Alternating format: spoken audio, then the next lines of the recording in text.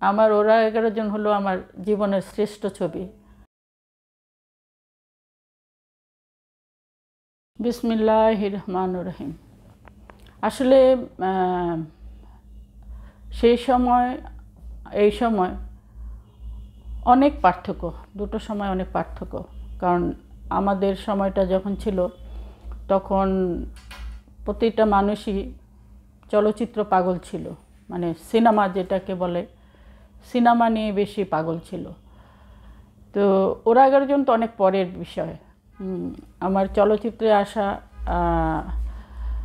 মরহুম সুমিতা দেবীর মাধ্যমে ওনার প্রতি শ্রদ্ধা রেখে আমি বলি যে ওনার হাত ধরে আমার এই চলচ্চিত্রতে আসা এবং আসার পর আর থেমে থাকা নয় চলছিলই।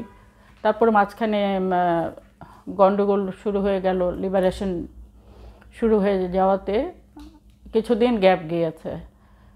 তারপর আল্লাহর রহমতে যখন স্বাধীন হয়েছে, তখন আবার আমার সুমিতা দেবীর বাসায় আমি ওনার বাসায় থাকতাম। ওনার এখানেই ছিলাম। তো এই ছবিটা প্রযোজক ছিলেন আমাদের শ্রদ্ধেয় মাসুদ পারভেজ সাহেব, ডিরেক্টর ছিলেন কাজীর চাষি নজরুল ইসলাম, আর এটার হিরো ছিল খসরু ভাই, ওনারা একজন নতুন হিরোইন খুঁজছিলেন মানে খসরু ভাইয়ের বিপরীতে। তো সেই মাধ্যমে দিদির সঙ্গে যোগাযোগ করা হয়। দিদির সঙ্গে যোগাযোগ করার পর দিদি বলেছে, আমার কাছে একজন হিরোইন আছে। আমার যে, আমি যখন নতুন প্রভাত করেছি তখন সেই ছবির হিরোইন। তোরা এসে দেখতে পারিস। তো ওনারা একদিন আসবে, আমাকে দিদি বলল, ওনারা তোকে দেখতে আসবে। তো একটু রেডি থাকিস।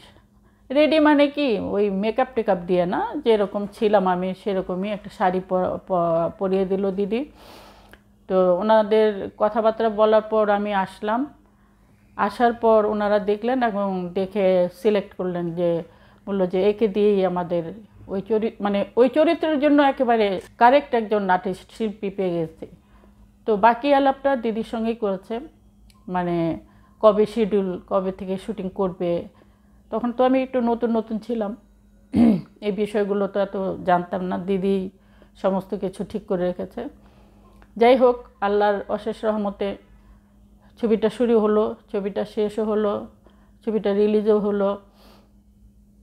তো আমার ওরা এগারো জন হলো আমার জীবনের শ্রেষ্ঠ ছবি।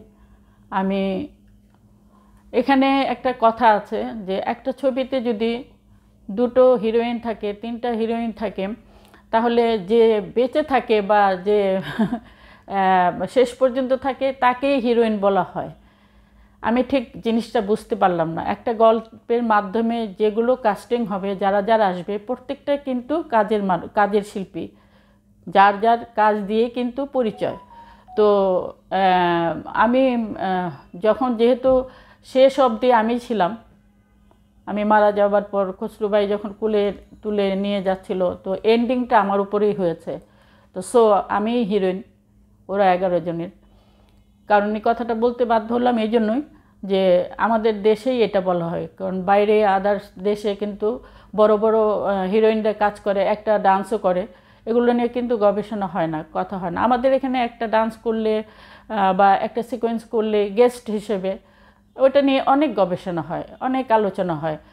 কারণ আমাদের মানসিকতা, মন মানসিকতা চেঞ্জ হয়নি এখন অবধি চেঞ্জ হয়নি এখনও যদি কোনো হিরোইন একটা ডান্স করে, তারপর ওই তো ওই ছবিতে একটা ডান্স করেছে, ওই ছবিতে একটা সিন করেছে। তো যে সিনটা করেছে, নিশ্চয়ই ওই ছবির জন্য প্রাধান্য ছিল। ওই ওই সিনটাই যার জন্য ওই হিরোইনকে কাস্ট করতে হয়েছে। তার মানে হিরোইন তো ফেলনা না হিরোইন তো অবশ্যই একজন সেরকমই শিল্পী। তো সেরকম শিল্পী বলেই ওই একটা সিনের জন্য নিয়েছে। ঠিক আছে? জি।